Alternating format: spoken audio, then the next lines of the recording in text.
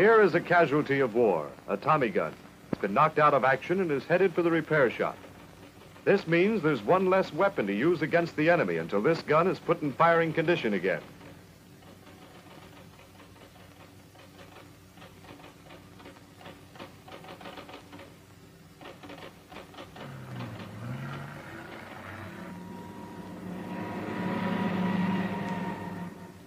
How long does it take to get it back into action?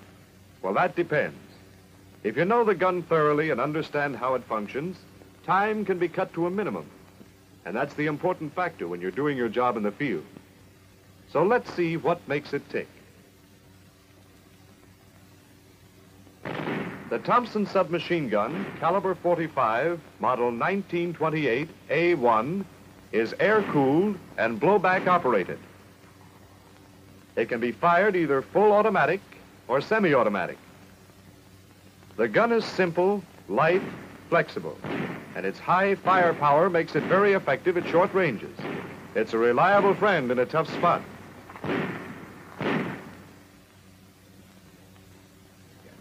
In order to have a clearer picture of how the Tommy gun functions, we'll cut away the side of the receiver and frame so we can see what the inside looks like. To simplify our explanation of functioning, we'll divide the firing cycle into three phases. First, the trigger movement. This involves the trigger, the disconnector, the sear lever, and the sear.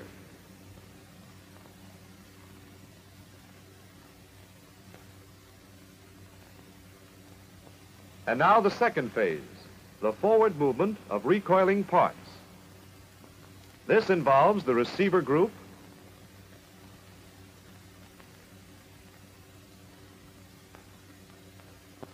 the bolt group, the recoil spring, finally the third phase, the rearward movement of recoiling parts, which also involves the receiver and bolt groups and the recoil spring. To load, the bolt is drawn to the rear, the safety is locked, and the magazine inserted.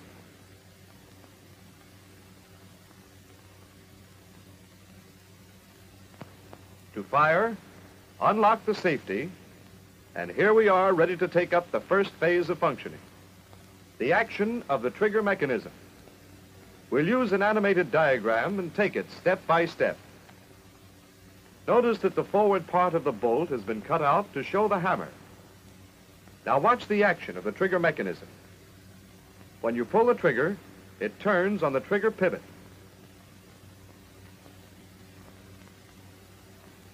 This lifts the disconnector up under the sear lever, which in turn pushes up the front end of the sear.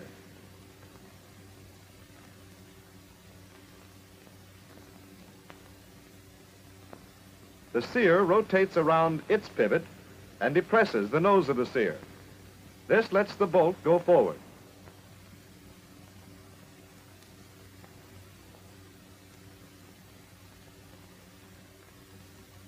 Now, let's follow these steps on the gun itself. We're looking at the top of the frame. It's removed from the receiver.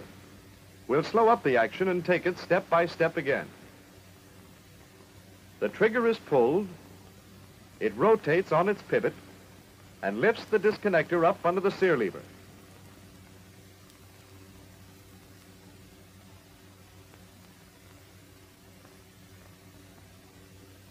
As the sear lever rises, it lifts the front end of the sear.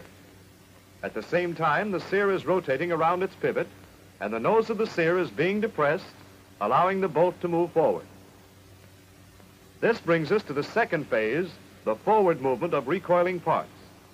After the bolt has traveled about an inch, it strikes the cartridge, which is held under the lip of the magazine. It pushes the cartridge forward, up the bullet ramp, and into the chamber. Here's the same action on the gun from the right-hand side. The front end of the bolt strikes the cartridge and pushes it forward. The cartridge is held straight until it has almost cleared the magazine. The bullet ramp then guides it into the chamber. When it's seated in the chamber, the extractor snaps around the groove of the cartridge.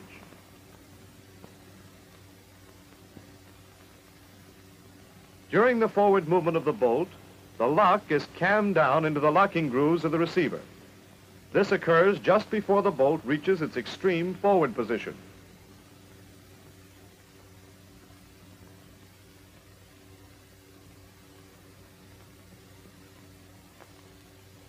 The triangular-shaped hammer is located on the underside of the bolt. The lower point of the triangle strikes the front end of the receiver as the bolt travels forward. The hammer pivots, driving the firing pin into the primer of the cartridge and firing the round.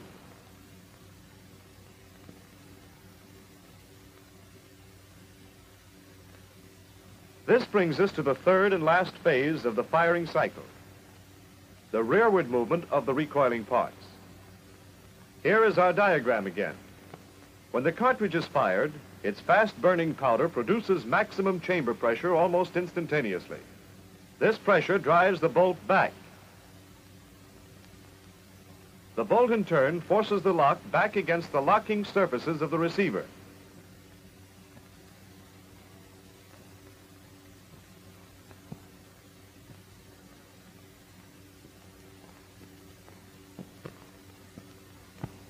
Now back to the real gun again. Notice the angle of the locking groove. You can see how the rearward pressure of the powder gases forces the lock back against these grooves. That's how the bolt is locked in the forward position.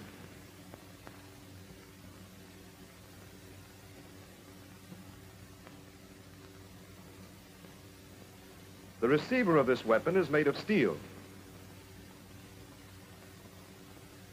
The lock is made of bronze.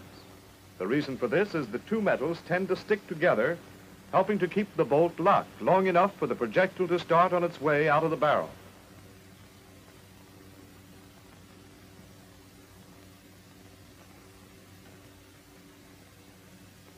As the projectile leaves the barrel, the high chamber pressure is reduced.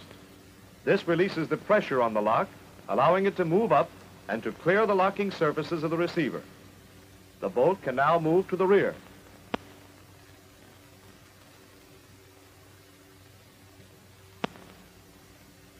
After the bolt has been unlocked, the remaining gas pressure drives the bolt to the rear, compressing the recoil spring, which cushions the shock of recoil and stores up power for the forward movement.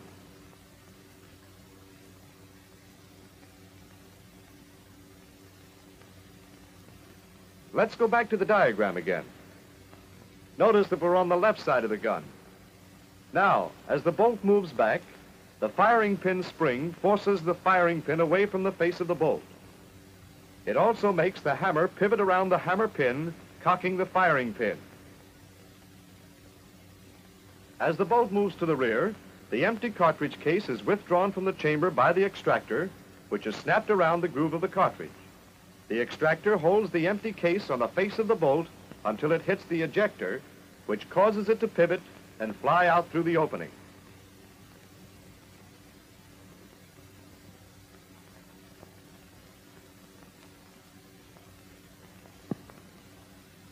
Here is the same action on the gun in slow motion. Watch the empty case pivot to the right and out when it hits the ejector.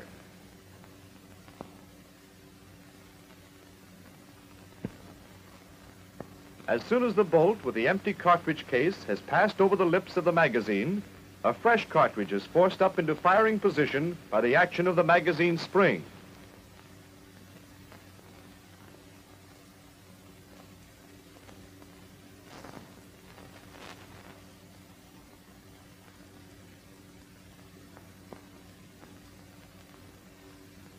Are two notches on the underside of the bolt.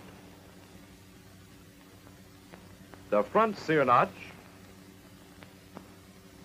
and the rear sear notch. The sear may engage in either the front or rear sear notch, depending on the force of the bolt's rearward movement.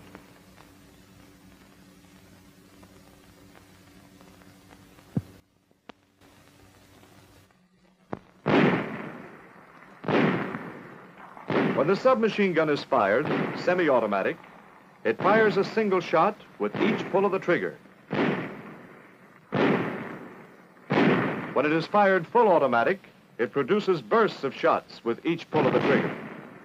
The semi-automatic and full automatic action is controlled by the rocker and the rocker pivot.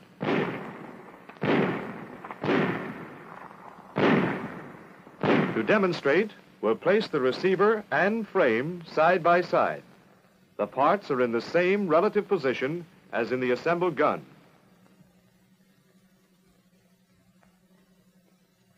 In semi-automatic fire, the rocker travels in the T-groove on the underside of the bolt.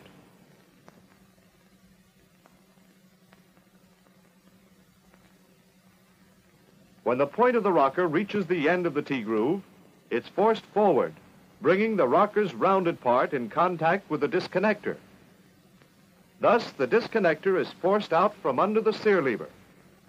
The sear lever operates independently of the sear, blocking the disconnector when the bolt moves to the rear. As soon as the sear notch is exposed, the sear spring expands, forcing the sear up to engage the bolt.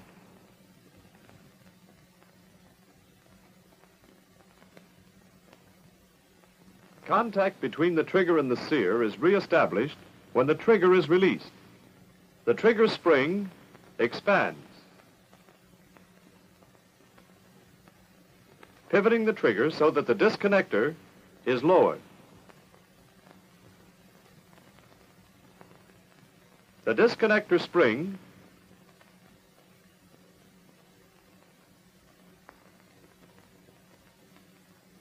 then expands and forces the disconnector to return to its position under the sear lever.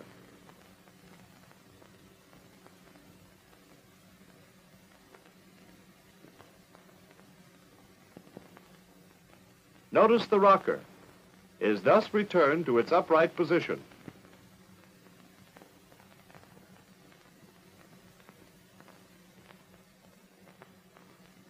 With the rocker pivot in this position, the Tommy gun will fire at the rate of about 600 rounds per minute.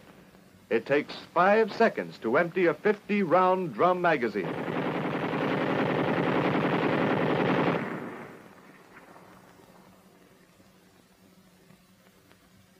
The rocker pivot is of eccentric design.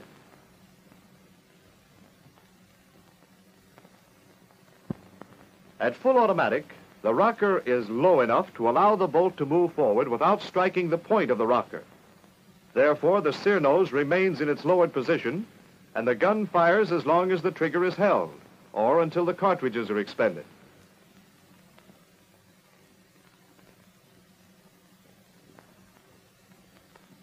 Now for the safety. It works like this. When the safety is turned toward the rear or safe position, the rounded part of the safety fits into a groove on the sear and locks it in its uppermost position. When it is set at fire, the flat milled surface is in a position where the sear can rotate around its pivot. Remember that the safety cannot be turned when the bolt is forward. The bolt has to be to the rear because the sear must be up in order to allow the rounded part of the safety to engage in the groove of the sear. Also remember that when the bolt is forward, the drum-type magazine cannot be inserted or removed.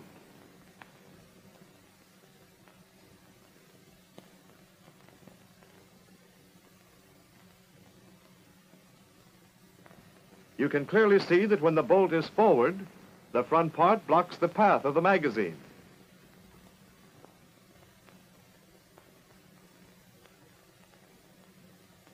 Now we'll draw the bolt back.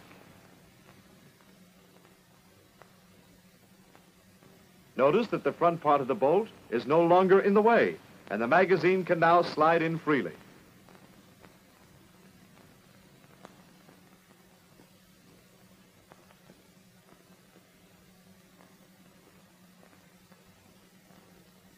Now for the trip. Here it is.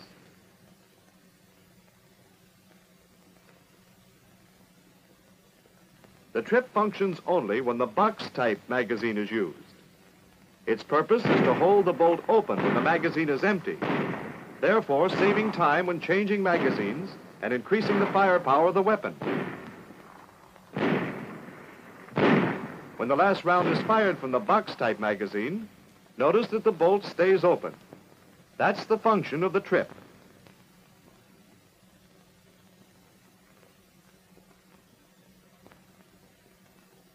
Here's how it works. There's a fin on the back of the magazine follower. As the magazine empties, this fin rises up. And when the last cartridge is pushed out of the magazine, the fin strikes the trip.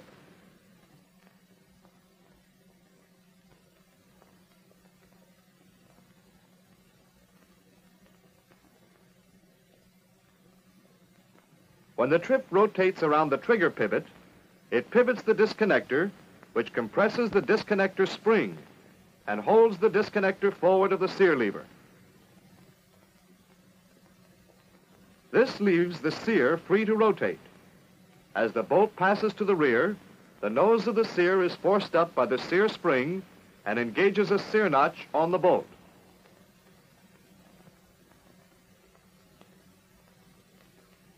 This is what the fin looks like on the rear magazine follower.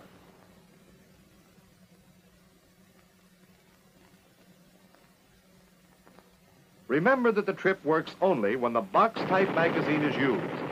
When the last cartridge is fired from the drum magazine, the bolt will stay closed.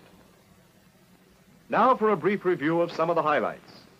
Functioning breaks down into three main parts. The trigger action,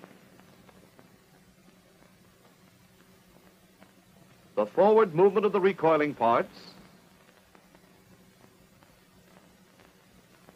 and the rearward movement of the recoiling parts.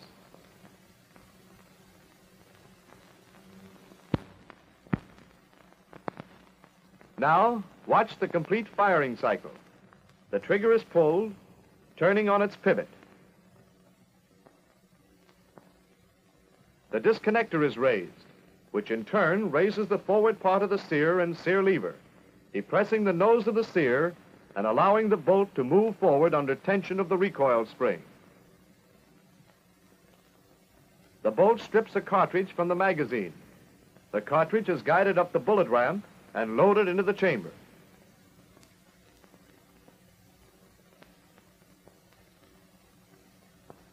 The lock is cammed down into the locking recess of the receiver.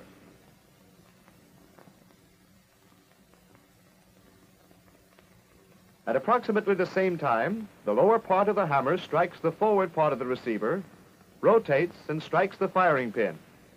The firing pin is forced forward, which in turn strikes the primer of the cartridge and ignites the powder charge. Pressure from the expanding gases is transmitted through the cartridge case, bolt, and lock against the locking recesses in the receiver. As the bullet leaves the barrel, the pressure subsides, releasing the lock. This action retards unlocking. As recoil starts, the firing pin spring forces the firing pin to the rear and rotates the hammer to its original position. This action withdraws the firing pin from the face of the bolt.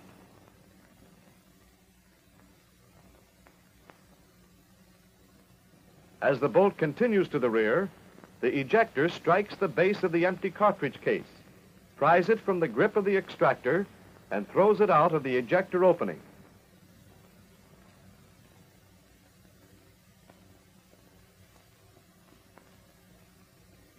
The next cartridge is forced up into loading position by the magazine spring.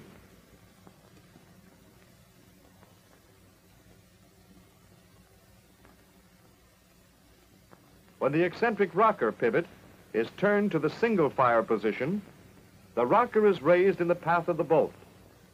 The rear of the T-slot strikes the rocker, forces it forward, forcing the disconnector out from under the sear lever.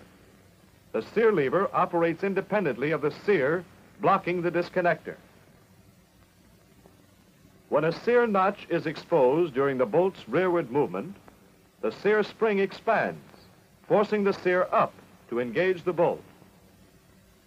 When the rocker pivot is turned to the automatic position, the rocker is lowered away from the path of the bolt. The sear nose will remain depressed as long as the trigger is held to the rear.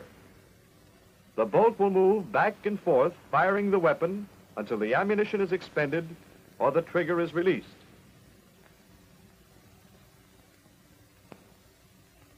With the bolt to the rear, the safety can be turned from the firing position to the safe position, locking the sear.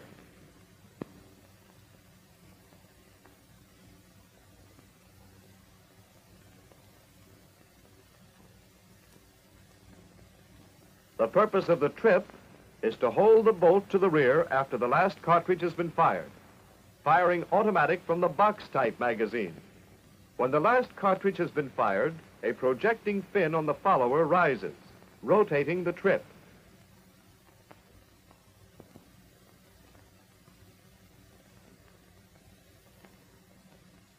This pulls the disconnector out from under the sear lever. With the disconnector in this position, the sear is free to engage one of the sear notches in the bolt. Well, that's the story of how the Thompson submachine gun functions. With a clear picture of what makes it tick, plus skill and practice, you can make sure that the Tommy gun will not fail when it's needed most.